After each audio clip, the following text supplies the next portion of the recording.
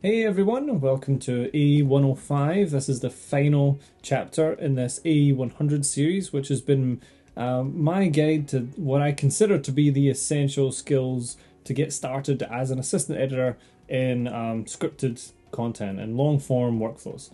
Um, this final one will be going through doing turnovers to online. Um, so we'll be focusing on turning over from offline to grade and to sound. Um, and I'll, I'll, mention some of the others as I'm going. Uh, but those will be the two primary ones I will talk about because, you know, as an entry level assistant or lower jobs or as a second, that's probably the two biggest ones that you'll focus on. Now, you may notice that I'm back in my home office once again. Um, and there was a bit of a time delay on this one because I did actually record it while I was down in London when I was recording all of the other modules. Um, but then a couple of things happened after that. So first of all, I noticed when reviewing the footage that uh, there was a couple of things I had forgot to add into the plan, and it sort of added in midway through the video, and it didn't look necessarily that great. And secondly, um, the, a few days ago, there has been a uh, update to Avid Media Composer um, 2022.10, which has included an array of new features, but there's a few of them that might actually be handy for this purpose. So I'll mention those as I go as well now that they're a thing with Avid Media Composer. If you want to learn more about the new version, by the way, I do have a video for it on the channel where I go through and break down all of the new features and demonstrate them live for you. So you can uh, check that out on the channel when you're done here. So as continuing with the rest of this AE100 series, we're going to be using footage from uh, The Treasurer, that short film that we've been using in the previous modules. So huge thank you again to Page Break Productions. Cheers Mike and Richard much appreciated. So we'll be preparing grade and sound deliveries from that locked edit timeline of that. So without further ado, let's dive right in. Right, so before we start on making any online deliverables, um, I just want to clarify exactly what that is. Uh, so us in the edit here, we are offline. Um, so in long form workflows and uh, you know primarily Avid workflows, uh, that tends to means that we work in an offline environment, as in we use proxies. We use low-res versions of the media because it's a lot easier to work with um, in the edit. Now, online refers to the part after the edit's locked where they'll want to link back to the source camera files, hence the online, um, for you know grade, polish, you know sound deliveries, um, you know visual effects work pretty much everything that comes after your edit locks, or sometimes before your edit locks. Now, when you get to this point, most of the time, like 95% of the time, you will be able to ask the, uh, the post house, uh, you know, the sound facility or the online facility, or whoever you're sending deliverables to, for something called a spec sheet. Um, and this will be essentially just a list of exactly what they want and how they like it um, to be turned over. And so you can just follow that to the letter and just deliver them exactly what they want. Now, since for the purposes of this video, we're just making some online deliveries, we're not actually delivering it to anyone or giving it to anybody, um, I've made up a little spec sheet. Uh, so this is what I would use um, to cover all my bases um, uh, to hand over to someone if I didn't know if they didn't if they didn't give me a spec sheet if I didn't know exactly what they wanted. So I would have uh, for grade an AAF of the picture. So this will be a linked uh, AAF. Uh, I'd give them the Avid bin with the project, um, just so that uh, they can relink it at their side. Uh, they can open it up in Avid if they need to and just take a quick look um, at things. Um, especially, th- this is kind of mostly common for me if uh, I'm right at the end of my contract and want to say it's a, a, local series or something, and we're handing over to online and uh, right at the very end, and I will provide them with the Avid bin so that if I leave and I move on to something else and I'm no longer around, they could peek inside the sequence and um, you know check anything within Avid if they had to. A lot of sound facilities and grade facilities will have Avids. An EDL, a guide picture, just a, a MOV file um, for them to reference with burned in timecode and information, and online notes. So this will generally be a marker list of any effects that I've used, respeeds, really any kind of um, you know thing I've done in the offline that will need conformed or dealt with later down the line. So that would cover grade. And then for sound, uh, they have a few more things. So ADR lists, so this will be another marker list um, of any um, ADR that needs to be done because um, the ADR will generally be done after the locked edit. In the case of the treasurer, it wasn't. Um, we made a list of all the ADR and it was sent away, and they managed to do all of it before we locked the edit, and it was put in for the final edit. So you know we won't have an ADR list for this, but I will sort of show you as I'm going on what that might look like. Audio AAF. Um, so unlike the grade one, this will have media with it, and it'll you know be the sound as opposed to the picture. EDLs so you'll see there's an S there. So this will be two EDLs, one of the picture, one of the sound. You might ask why we're giving sound a picture EDL. If in the off chance that you're, say, delivering to sound before you've locked the edit, or they reopen the edit after you've locked it and then you have to do the deliverables again, which happens, we just need to deal with it. A picture EDL of the the first delivery and the new delivery, the, the sound guys can compare the two uh, to see what has changed. They know how much of their work they've done thus far can, you know, can be salvaged and, you know, what they need to do to conform their timeline to match the new thing. Guide picture, again, they'll have slightly less burn-ins um, than the uh, grade ones. They just essentially need timecode. MXF audio. Um, so I, I like to give them all of the audio from the the Avid uh, all of the MXF imported audio. They don't necessarily need it, but as I've imported it tidally anyway, so it's nice and easy. Source audio, all of the source sound files they will absolutely need, absolutely essential. And split WAVs. So this will just be a wave file of your dialogue, one of your sound effects, and one of uh, your music. Um, if you have a really complicated timeline and they want more split WAVs and stems, then they may ask for them but that that is your you know universal general three um, that you'll be sending them. Um, and you can see I've, I've just thrown this into a document here with um, some tick boxes. I absolutely love me a checklist. Love a checklist. Um, I've got a whiteboard up in my room. Um, I, I quite often will take a, a whiteboard. Well, not so much now, but I used to always take a whiteboard into jobs. Uh, yeah, it, it just helps to, to have it mentally that you have checked something off as you've done it, especially if you get interrupted while you're doing it and you can come back, you know where you got up to. But anyway, uh, let's jump into it, see what was done uh, when I recorded this the first time. So uh, I'll open this up here and I'll bring the timeline over to this window. Right, uh, let me say that the very first thing that I did before I started making any deliverables at all uh, was I did a tidy up of the timeline. Um, so you can see that I've renamed um, my tracks, I've given them names. Um, this can be done just by a right click on the track and rename track. Um, so I've just used DX to denote dialogue and then um, sound effects are these ones and music is these last two. Um, no, I've put uh, music L and music T. Um, so the L was licensed. Um, that this was stuff that was going to end up in the final cut. It was fine to use. This was actually in this script uh, that the writer wanted to use a specific track, so it was always going to be used.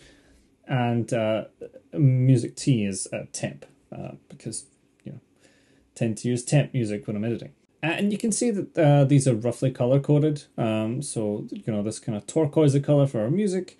Uh, we've got orange for our sound effects. And for the most part, my uh, audio is green, my dialogue. Um, this kind of orangey, peachy color. This is actually the uh, ADR that I was telling about that was recorded later on. So, yeah, uh, nice and tidy. So, when I started rotating the timeline, so I was renamed the tracks and I just would do a pass and make sure that everything is on the right tracks. And I move, move stuff up or down, create new tracks if you have to, um, and just make sure that you don't have you know any sound effects or music in here. The dialogue sound effects music are separated. Um, this is really going to help for doing the split WAVs that I told you about uh, later on. Um, and it just you means you're handing over a tidy timeline. You need to represent editorial. You don't want to be handing over a really messy timeline. So we've got renamed tracks. Um, we've got our media sifted and sorted. Um, what else did we do? Oh yeah, I applied my markers. So I'll generally apply uh, markers for anything I've done in offline that they'll need to know about in online. This is what I was telling you about when we went through the deliverables in terms of an ADR list and um, you know online notes lists. Um, so you can see I've got a bunch of yellow ones here.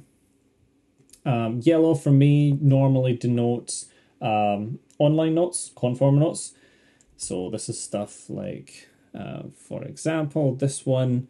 Actually, bring up the markers window and show you these.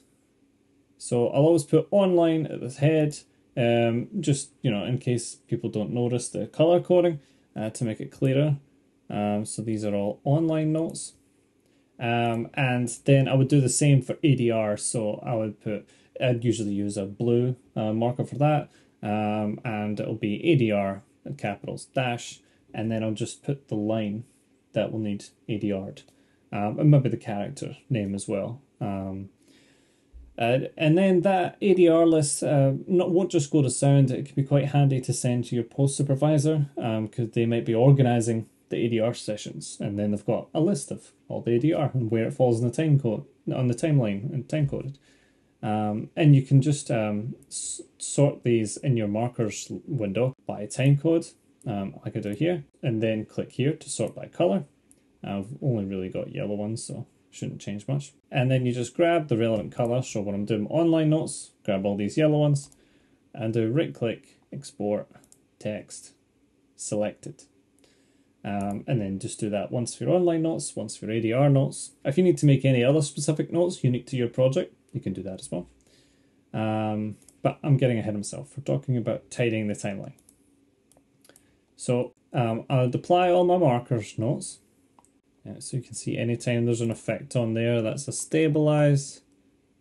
Um, this is, um, oh, this might be an interesting one actually. Yeah, it's uh, very subtle, but there's a red light, if you zoom in here, reflecting here. It's reflecting on the, the keyhole on the metal, and that's actually the record light from the camera. Um, so I had just put a SpectraMatte keying effect that keys out the red so there is much more subtle. You can't really see it. Uh, so that also became a marker's note, key reflection of red light. Um, and the reason we're applying all these notes is so that if something doesn't um, come through in the AAF, then they have a note there and they can recreate it. Um, so they'll be able to reference the, the grade picture, that, the guide picture that you give them. Um, but this will really help them because then they, you know the guide picture is is what it looked like in the end but this is what you've done. So between the two of them they should be able to recreate what you've done if should they have have to. Um, but that's enough about the markers for now. Um, you can see that I've also renamed my um, video tracks not not all of them. I've got two for titles. Um, that was just because I had some that were stacked. Um, I had one for effects and that was just because I had some colored effects on there because we had a day for night sequence. Um, so what uh, this is supposed to be nighttime, but it looks like this. Um, so this is a super rough um, day day for night just for the edit. Um, the the grade did a much better job of cleaning that up. Uh, you can actually watch the full edit um, over on uh, Page Breaks um, YouTube channel. Um, I'll have that link down below if you want to check that out and I had a separate track uh, listed for uh, my marker notes. Uh, and this V7 I had just thrown over the top here uh, when I first did this record. So this is just a, a final export um, of the film. I actually have ripped this from YouTube. So this is a 1080p version. That's why you get these black borders at times. Because we mastered this in uh, 2K. But uh, yeah, at the head of the timeline, I also put an ID board and a clock. So I have my own uh, clock that I've just made in motion. Um, that's that's this part here. Um, that's counting down from 30 seconds, and um, then at two, I've just got a two pop. Um, and sometimes, depending on, generally, I'll just leave it like that as standard, but um, for uh, different uh, post facilities or sound facilities, um, I might uh, put um, on the two pop just a, a white frame or just a very large two or something like that. Um, and then the ID board um, is just your basic information. So you've got your duration, and this is counting from picture start, so zero one, so you're not including the time of your ID board and countdown.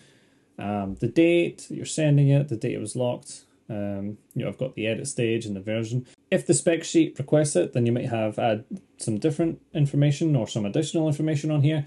Uh, but you know, this sort of covers the basics. The most important thing is probably the date, the duration, and like like like the version. I've used the date for the version for this project. Um, you know, I've got a video on my versioning again over on Patreon. Um, but uh, I like to use dates for versioning, and I've said that this is the lock cut, so that's your final one. And the only last thing to mention here, actually, before we go, is you know the the tone on the two pop.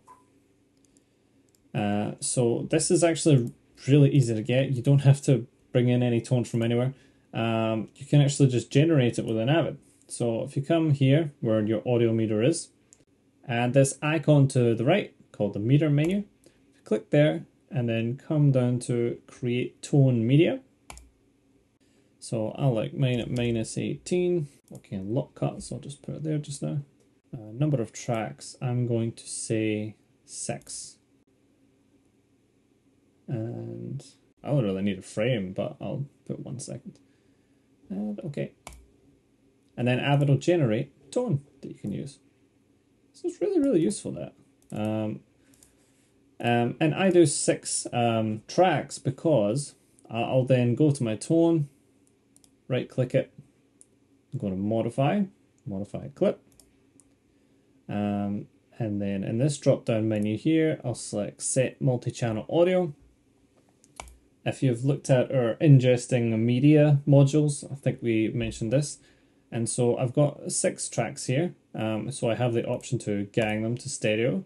So I'll gang 3, 4, and 5, and 6 into stereo, and then I can slap them on the stereo tracks that I have for my sound effects and my music. Uh, so once I've got that, that's done. And then those are ready to throw on. Now I'm not going to bother because I've already done it here. Um, but that shows you um, how I would put these on. Um, now, of course, uh, this won't just go at the front. I've also got a two up at the very end, and I've used a white frame there. So two, um, so exactly two seconds after final frame, there we go, another two pop. Right, now once you have your timeline um, tidy um, enough at that level, then we're ready to um, start exporting. So um, I'll go to my exports folder. We'll start with grade.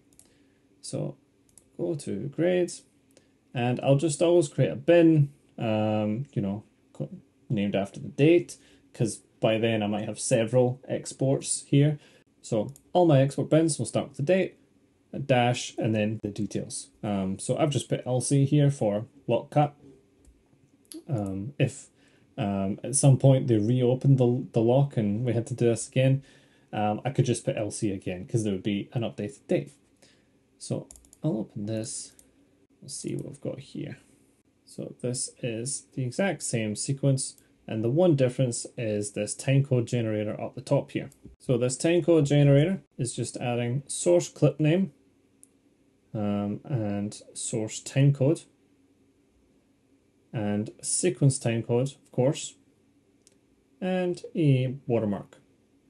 So you could use uh, Avid Pan and Zoom to do a company logo watermark, um, but as is very often the case, you'll either use subcap or timecode generator to just make some text like this.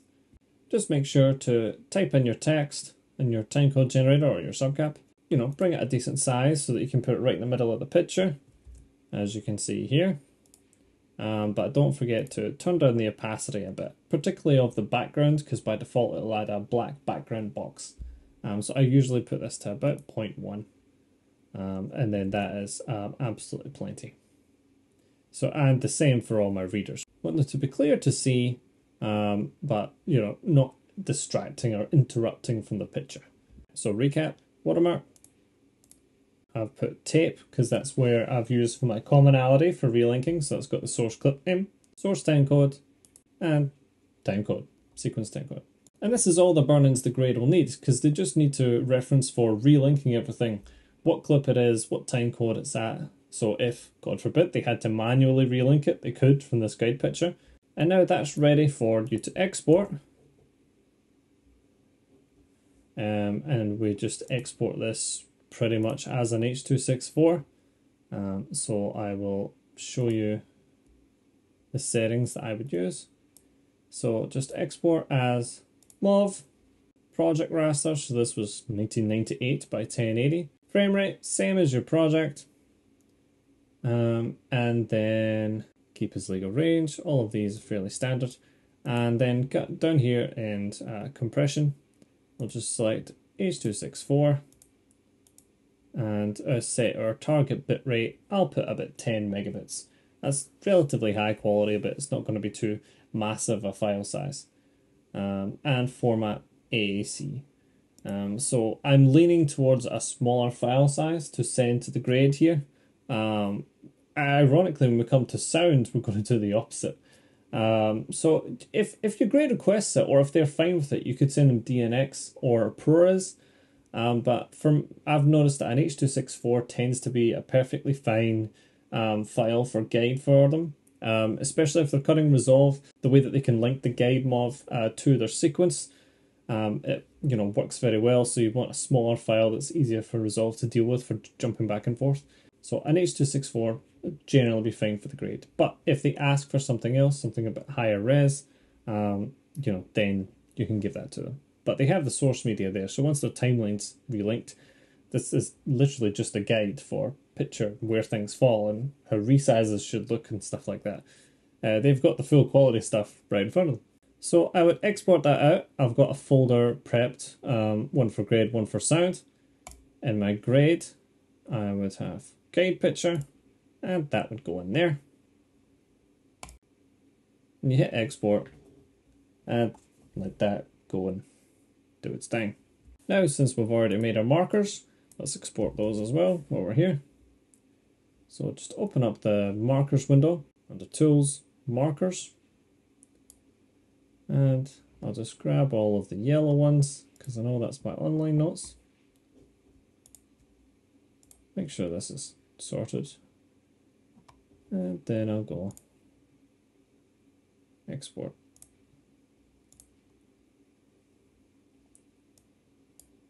So grade, online notes,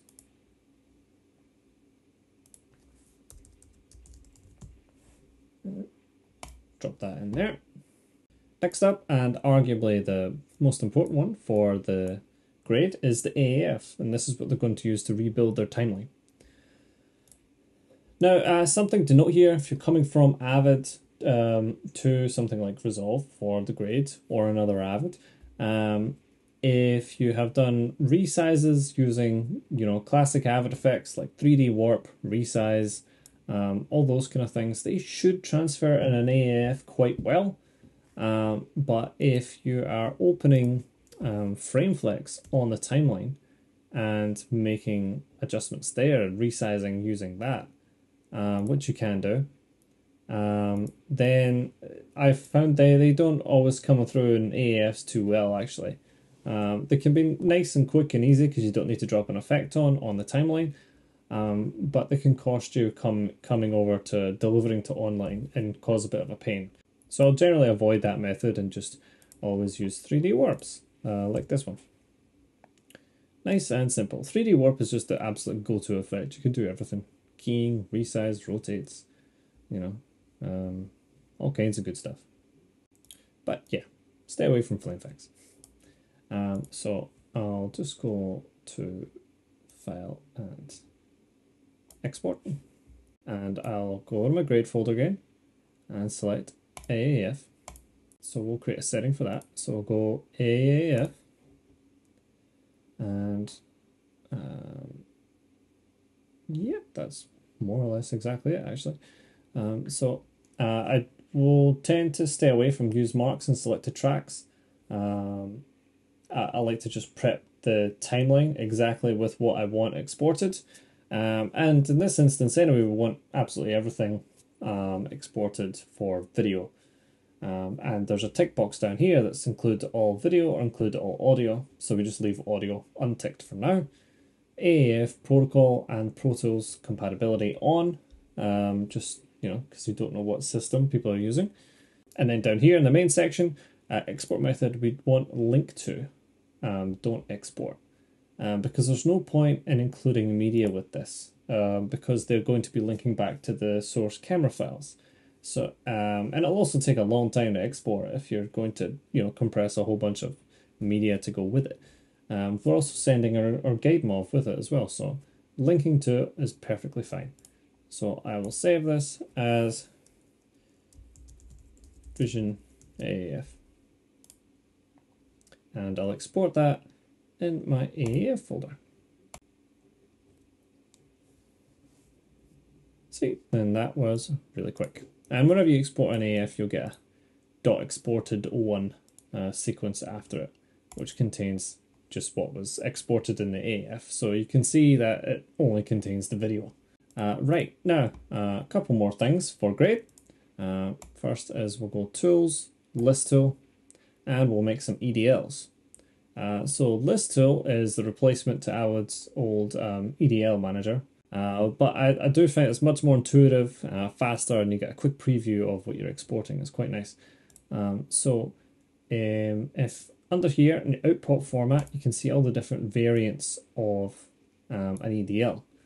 Um, I like file 32, that's quite a commonly accepted one. Some people ask for a CMX 3600, but file 32 generally do the business. So I'll select file 32 there, um, and then list options is where you'll be able to tinker it um, and decide exactly what goes into it. Um, so under list options, I'm going to make sure nothing's ticked under picture and sound, but then in both picture and sound, just clip name and reel name. And that should give us everything that we that the grade should need for conforming and relink. Um, but we can take a look before we export it. So going back to input to so as we can load our sequence into the list tool, we'll just hit load and it will load whatever sequence you currently have open in the background. Um, I am using the exported uh, sequence back here, one that was made from the AAF, but that's perfectly fine because it's got all of our vision in it.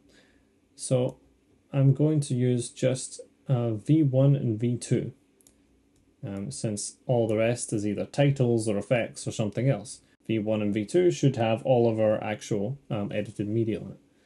Um, and now once I've selected the tracks I want, I've, I've set up my EDL and I've loaded my sequence, I can hit preview up here and it'll show me a preview of what this EDL will look like. And that is all the info we will need. So you can see that it's got my slate name here. Um, so that's your clip name. So that's what I've named the synced subclips. And you can see that underneath it, it's got the uh, source camera name. And then over to the right, we've got source timecode in and then out um, for each instance on the cut. And we've got uh, sequence timecode in and out. That is the format of our EDL, and that's everything that they'll need for Vision. So then we just need to come back up here next to preview and hit save list to one file. And then we can save it. So grade, EDL, and I'll just rename it to that dot exported 01 and save. There's our EDL. And if you want, uh, if you're going to be doing more of these, um, if, if say you're on a series, you've got a bunch of episodes, uh, you can save this uh, EDL preset up here, just under active setting. Just go to save as, I'll do grade turnover. Save, there we go. Now, uh, at this point, let's take a look at our spec sheet and uh, see how we're doing. Um, so under grade, we have done our AAF, we've done our EDL, we've done our guide picture, and we've done our online notes, but we just need to supply them the Avid bin. So I'll come back to Avid. I will close my uh, lock cut, uh, grade bin. Then I will navigate to it here and just right click the bin and hit reveal file. Then as soon as you do that, um, a Finder or Windows Explorer window will pop up uh, with your um, with your bin. And I'll bring over my other window here. And then we can just drag and drop that into our Avid bin folder. And there we go. That's all ready to go. So now all of our deliverables for our grade are ready to roll. And as I do each one, if I'm on a Mac, I like to add a little Finder tag, um, green one there, so I know that that individual one's done. Uh, if you look in these, we'll be able to see them all, except guide picture, because I, I didn't want to wait for it to export. Um, but they're all done. Nice. Let's move on to sound. Right, everyone, that brings us to the end of part one of AE105, uh, you know, delivering to online. Sorry, it did have to be split into two parts again, I'm afraid, because I'm, I'm trying to get these down to roughly half an hour per module, and uh, the, the full recording, uh, the first time I attempted it was about two hours, um, 40 minutes, and, uh, you know, the, in the rerun it was about uh, just over two hours. Um, so uh, getting this first half down to half an hour was a bit of a challenge. I do have a bit of a habit of going off on a tangent and just talking about post production for ages and, and little tidbits and, and stories and things. Um, yeah, so I had to cut all that out. But part two and the final video, probably, in the E100 series will be coming next week, where we'll mostly be going into um, creating and delivering a thorough batch of deliverables for uh, sound. As always, a huge thank you to my Patreon subscribers. If you ever want to um, check out uh, more content like this. There's there's more over on Patreon where I break down some more of my own personal workflows and, and how I like to do things. I try to put the, the more subjective stuff on Patreon and, and the more objectively true and factual technical way um, stuff on YouTube. But as for this video guys, we are all done. Uh, thank you very much for watching and I will see you next week for the final and A100. See you then.